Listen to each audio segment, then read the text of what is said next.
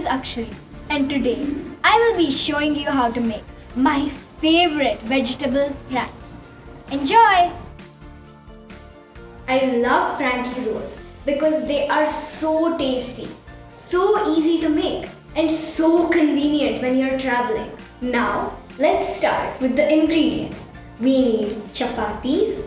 These chapatis are half whole wheat, half maida but you can use whole wheat or only maida chapati.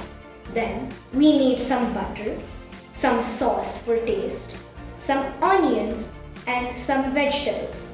If you have any leftover vegetables at home, you can make frankie with that also. So let's get started. First we should take one chapati and then take butter and grease the chapati with it.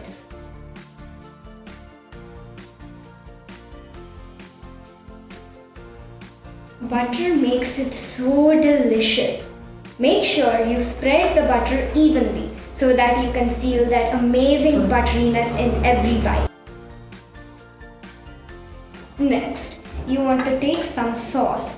It will be so delicious with sauce. And then spread that over the whole chapati also.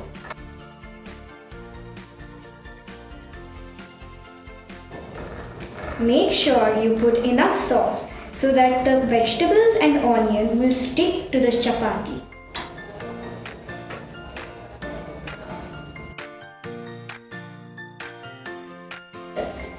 Okay, now let's put some vegetables. Put just one stripe to the side of the chapati. Oh, it smells so good. And make sure you put enough. Ah. This is the sabji that you make with your vegetables. You can add paneer also. In this there is paneer, capsicum, beans and also some onions and carrots.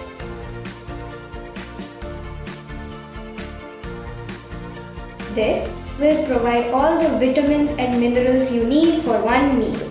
Next, you want to take some onions and put it on top of the vegetables for a nice crunch in your vegetable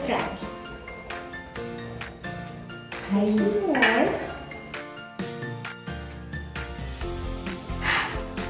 This smells so good already. Now all we have to do is roll it up. Wow, look at our vegetable frankie. It is looking so nice. Now all there is left to do is eat it. Mama, come on, let's eat. oh my god, this is so yum. Let's you want to try first? Okay, here you go. Tell me how is it? It's good, we should try it. Okay. Mm-hmm.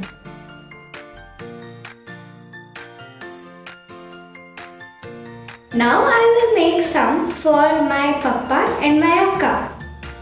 So first I'll take my chapati and then I'll put this butter so that it's nice and creamy. Make sure you spread it evenly so you can taste that buttery goodness in every bite. Now then we should put our sauce the taste which all children love. Now let's put our tasty sabji. You can use whatever vegetables you have and make one very tasty sabji. This will provide all the vitamins and minerals you need in one meal. Put it in one stripe that is not on the middle but next to the middle so that it's easier to roll. Now put the onions, one onion, two pieces, three and four. Now we roll it up. nice and tight so that it doesn't fall out. And voila! Here you have your very own Frankie roll. Made in 2 minutes but tastes like something from a 5 star restaurant. Thank you for watching. Hope you enjoyed.